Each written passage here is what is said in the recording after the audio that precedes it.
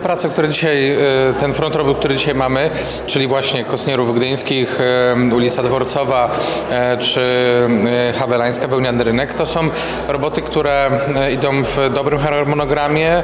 Oczywiście, że cały czas no, spotykamy jakieś prace dodatkowe, ale mimo wszystko dzisiaj wykonawcy nie zgłaszają większych opóźnień. Natomiast na pewno jest to bardzo duży front robót, w związku z tym on powoduje też spore utrudnienia w ruchu. No i musimy się uzbroić w cierpliwość, e, szczególnie mówię tutaj o Kosnierów-Gdyńskich i Dworcowej. To są ulice, które bardzo mocno e, utrudniają życie w centrum. Na dzień dzisiejszy staramy się rozwiązywać problem na bieżąco e, i nie ma takich sygnałów dotyczących zmiany zakresu czy zmiany wynagrodzenia, ale to jest żywa materia i cały czas jakieś roboty dodatkowe wychodzą, więc myślę, że bliżej finału będziemy wiedzieć, jak to się przełoży między innymi na termin. Klub Platformy Obywatelskiej dopytuje się prezydenta odnośnie inwestycji, bo to, to też pytają nas bardzo często mieszkańcy, narzekając, że te inwestycje są spiętrzone, że one się przedłużają i dzisiaj długo dyskutowaliśmy o ulicy Dworcowej, dopytywaliśmy o tą ulicę.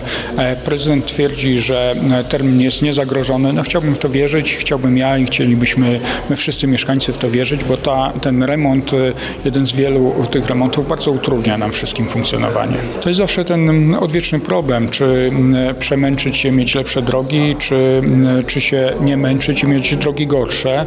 E, Więc ja wolę się przemęczyć i mieć e, drogi lepsze. Natomiast bez wątpienia pewne remonty można było nieco inaczej zaplanować. To, e, i- bez wątpienia część tych remontów się za bardzo przedłuża. Myślę, że tutaj kwestia nadzoru nad tymi inwestycjami, pilnowania wykonawców, to jest coś, na co prezydent powinien zwrócić taką baczniejszą uwagę. Ja oczywiście jakby jestem w pełni, pełna zrozumienia dla nie, nie, y, mm, y, niecierpliwości mieszkańców y, w zakresie tych korków, które się rzeczywiście zdarzają w godzinach szczytu, zwłaszcza przy wylotach z osiedli.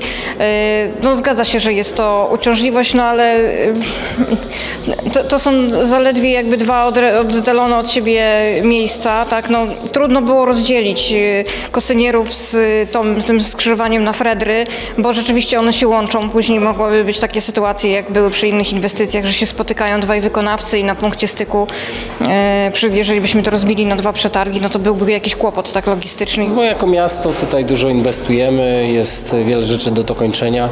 Rozumiemy, że też jest inflacja, że mm, niektóre mm, rzeczy, materiały budowlane gdzieś tam drożeją, chociaż sytuacja się stopniowo uspokaja i myślę, że powinno być coraz lepiej.